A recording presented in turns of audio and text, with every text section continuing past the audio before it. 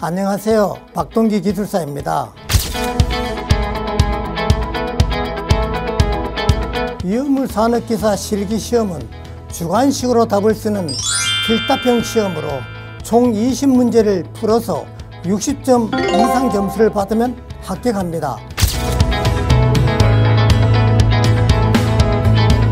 작년까지는 필답형과 작업형으로 두 번에 나눠서 실기시험을 봤지만 올해부터는 필답형 시험만 치르게 됩니다.